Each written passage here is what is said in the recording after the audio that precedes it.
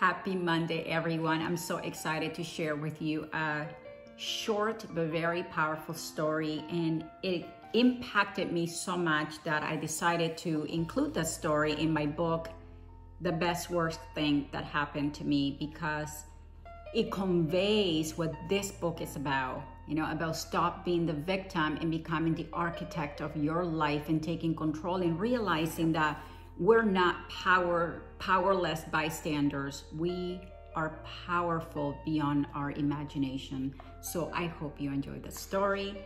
And this one is from Discover the Power Within You.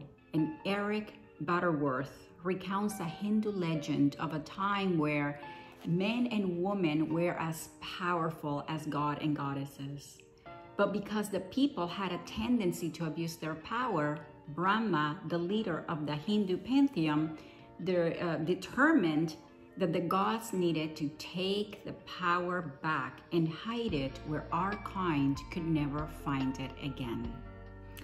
The Council of Gods discussed various places to hide humanity's power, but Brahma disagreed with every suggestion they made. If the powers were hidden deep in the earth's crust, he felt sure that one day we will find a way to dig it out.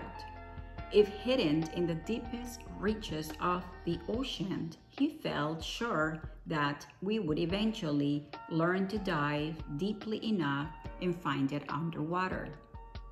And if hidden on the highest of high mountain peaks, eventually we will climb to the highest and find it.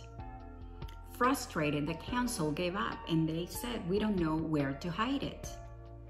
They, as you pointed out, there is no place on the earth or in the sea that humans won't eventually reach. At last, Brahma had an idea and he told the council, I know what to do. We will hide the power deep inside each person because they will never think to look in there. I just love this story because, well, it speaks the truth about our human nature.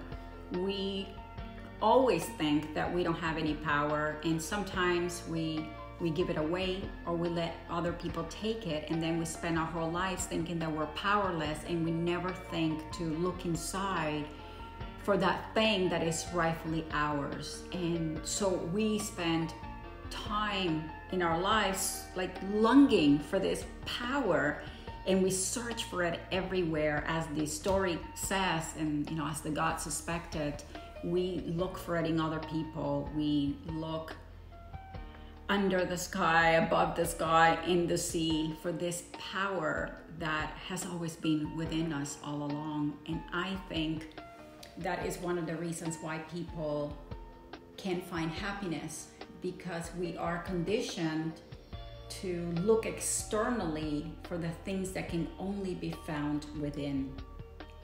And given that today is Monday, the first day of the week, let that be your theme. Every day this week, make a point to connect to that power.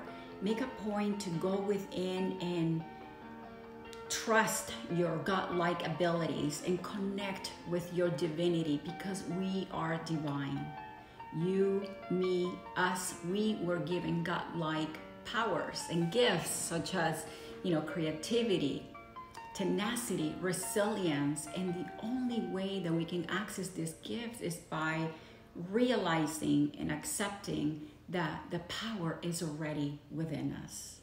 I hope that you have enjoyed this story. Please subscribe to my channel and help me grow. And if you'd like to get a copy of the best worst thing that happened to me, you can find it in Amazon or on the link below the show notes of this message.